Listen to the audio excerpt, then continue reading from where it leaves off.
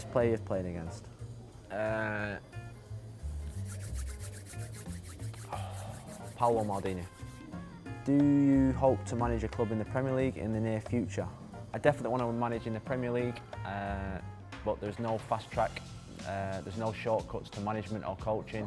We've got to get as much experience as possible and learn from the best, and uh, then I'll be ready.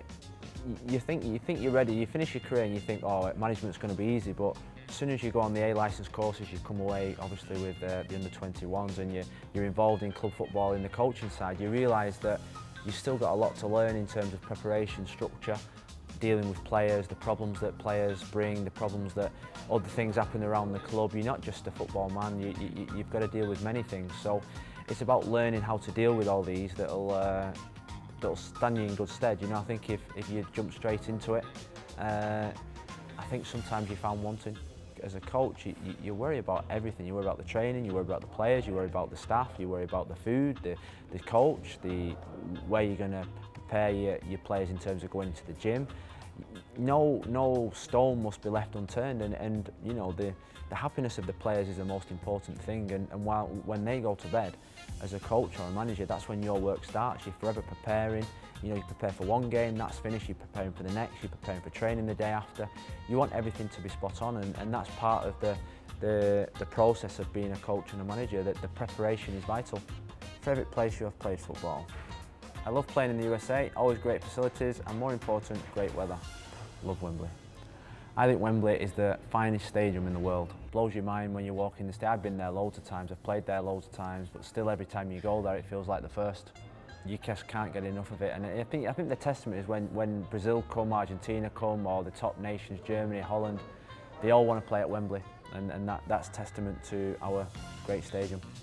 How is the mood in the camp ahead of tomorrow? The mood in the camp's great. We are looking forward to the Norway game where a win is a must. I enjoyed last time I was in here, I came for the Belgium qualifying game at Middlesbrough last season and uh, that's the first thing that struck me was it had a real club type atmosphere.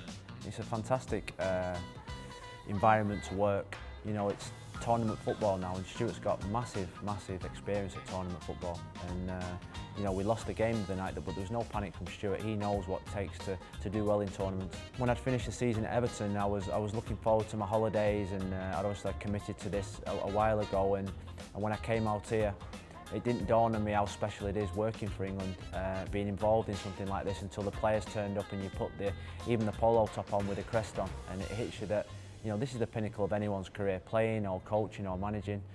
Working for the FA, playing for England is still, should be, the pinnacle. How do you rate Ross Barkley's chance of getting into the Everton first team next season, old enough and, and good enough? I think he has a great chance, as long as you're good enough, age don't matter. Colin Cowan has just asked, what have you thought of Nathaniel Chalobah so far? He's made a massive impression. I like his enthusiasm. I think he plays without fear. Uh, he's athletic and I think he's got a big future in the game. You can see at the moment that he's not physically developed, uh, but once, next couple of years, he does do that, I think he's going to be a top midfield player for this country. What are you going to miss most about Everton? I'll miss the people inside the club uh, and the fans who were special to me. They gave me a send-off the last uh, game that I played for Everton against West Ham, which is something that I'll never forget. The, uh, the players guarded a guard of honour and uh, they clapped uh, and it was probably one of the most emotional moments uh, of my football career.